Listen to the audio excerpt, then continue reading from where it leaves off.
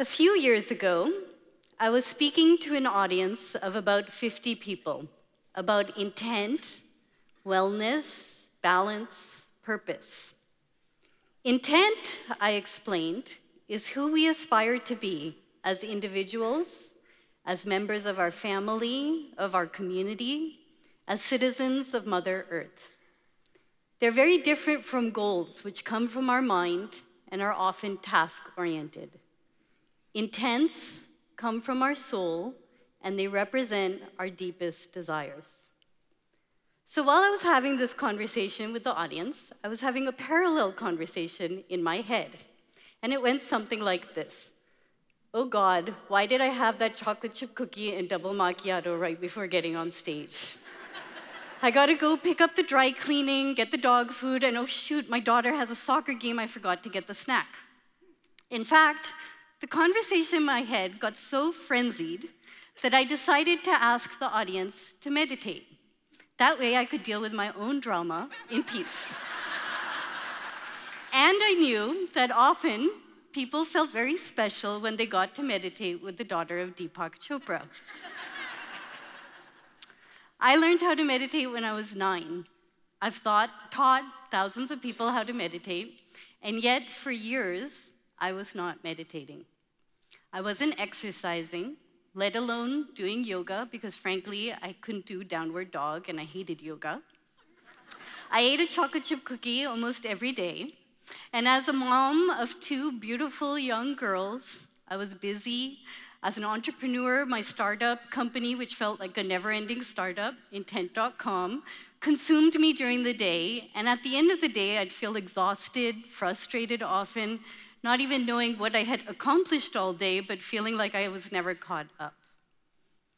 Most importantly, when we were young, my dad would ask my brother and I to ask ourselves several questions after our meditation Who am I? What do I want? How can I serve? I realized I had no idea how to answer those questions anymore. I felt like a complete and total fraud. So that day, on stage, I made a decision to change my life and to really think about what health and happiness and purpose meant for me. I spent a year reading everything I could about sugar and fitness and exercise and mindfulness, meditation, health. I spoke to luminaries in the field, including my father, who, to be honest, I had never actually read one of his 85 books and found that, you know, he had actually had some really interesting things to say.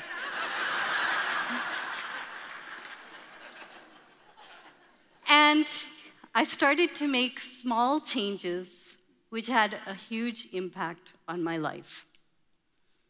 There was one conversation in particular that was very magical for me.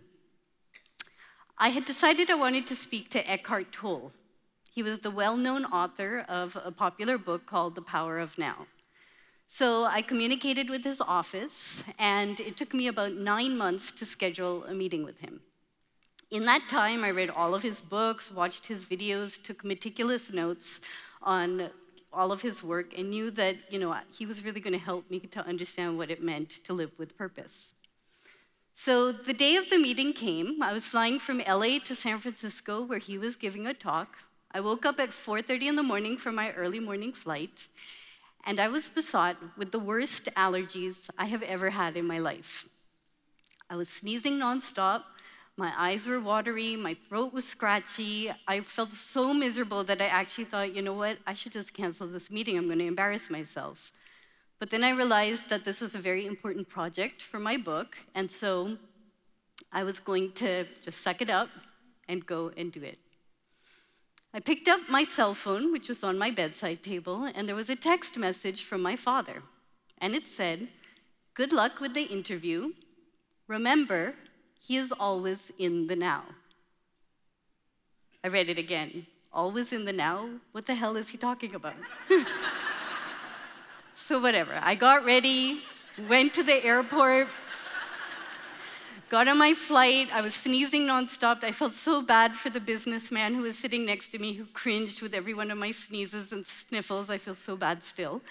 And um, landed. Another text message from my dad. Remember, in the now. I went to the hotel, cleaned myself up, and met Eckhart's assistant in the lobby. He was incredibly gracious. He said that Eckhart hardly ever took interviews, but he was a friend of my father's, he wanted to support me, and frankly, he loved the idea of intent. He also gave me the protocol for the meeting. He said, we'll You will have 15 minutes. You sit down, talk to him. I'll come back up, knock on the door, and when you see me, you just get up and leave. So my mind started racing to, oh my God, I had 15 questions. Let me think about three questions. Um, and so, but I smiled and we kind of headed to the room. In the elevator, my phone buzzed again. I looked at it in the now. At this point, I was really irritated, so I put the phone off um, and tried to get my breath for our meeting. We got to the hotel room, and when Eckhart Tolle opened the door, I have to admit, I felt a sense of peace. My grandfather, Daddy, had just died a few years earlier, and he was someone I loved more than anything. And Eckhart had a similar presence.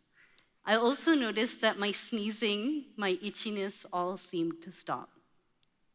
So we sat down. I introduced myself, told him about the book I was writing, and my yearning to really understand what it means to lead a life with purpose. And we were about five minutes into the 15 minute conversation. He listened patiently, and then he said, Intent is a most powerful concept. I leaned forward, super excited to be inspired and understand all the mysteries of my life, and then he stopped. And he said, Do you hear those bells? And I said, Yeah, I hear some bells. There were church bells in the distance. He said, You know, when I was young, living in Germany, I used to work in an office and there was a church nearby. And these church bells would ring, so I'm reminded of that time. I smiled politely, thinking, okay, we're about six minutes into the interview. and then he said, let's listen to the bells. So I tried to keep smiling. Now my heart started pounding faster. My eyes were getting itchy. I felt like I was going to sneeze. I started to think, okay, well, I have one question. What am I going to ask? And Eckhart sat there smiling, listening to the bells. And the bells rang. And they rang. The damn bells would not stop ringing. And finally, at about eight and a half minutes with the bells still ringing, I thought, you know what? I got to listen to the bells. And so I took a deep breath, I surrendered, and I was present, listening to the bells with Eckhart Tolle, completely and totally in the now. And I felt peaceful, clear, purposeful. The next thing I knew, there was a knock on the door, and his assistant opened the door. My 15 minutes were up. So I got up, said thank you, and began to walk out. Eckhart said, No, no, no, no, no, sit down, I want to talk to you.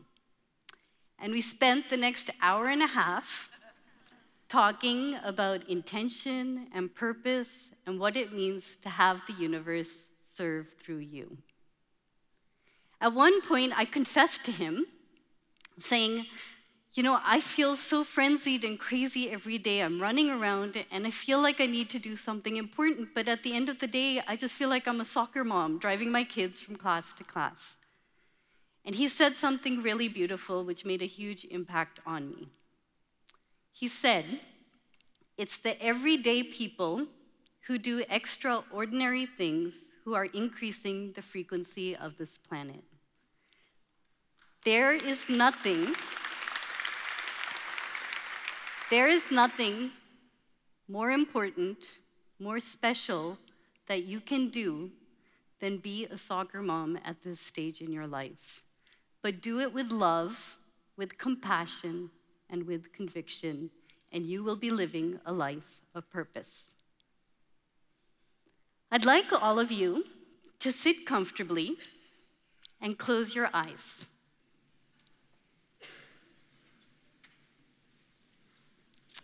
I'd like you to breathe in and out. In and out. I'm going to ask a few questions.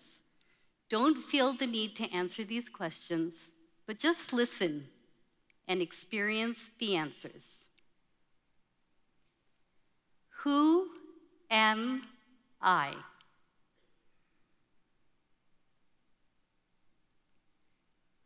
Who am I?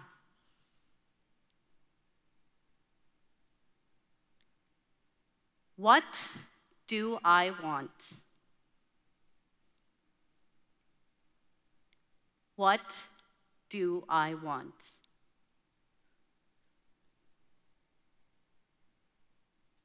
How can I serve? How can I serve? Now take a breath and open your eyes. When we sit quietly, often our mind wanders from thought to thought. But sometimes, if we give it a chance or with practice, we experience inspiration, peace, knowingness, and clarity of intent. My hope, my vision for 2020 is that we as a humanity take time to think, to be still, and to know our truth, to know that we are enough and that we all can serve in our own unique way. And in that knowing, we will lead healthier, happier, more connected, and more purposeful lives. We will live with intent. So please, please listen. Listen to the bells. Thank you.